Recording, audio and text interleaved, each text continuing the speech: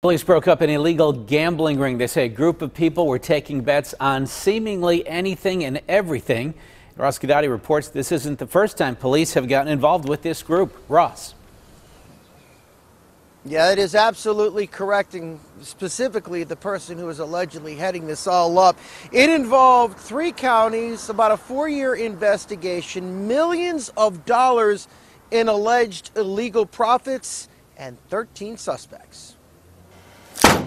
13 is the number of suspects the Attorney General's office charged for running numbers in what law enforcement is calling an extensive illegal gambling operation to keep players, according to investigators.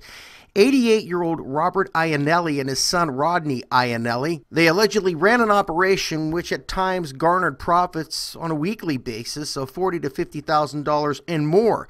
The AG's office began their investigation of the father son duo in 2015. According to the 21 page indictment, the Iannellis, along with 11 other defendants, used the Pennsylvania, West Virginia, and Ohio state lottery numbers for their own alleged illegal lottery. The Attorney General's office claims illegal sports books were also a large part of the Iannelli enterprise. The suspects allegedly using cell phones and fax machines to collect customers' picks.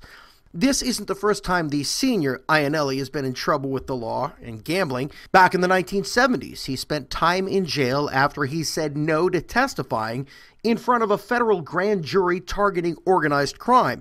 In the 1990s, he went back to jail again after being convicted of conspiracy, illegal bookmaking, as well as other charges.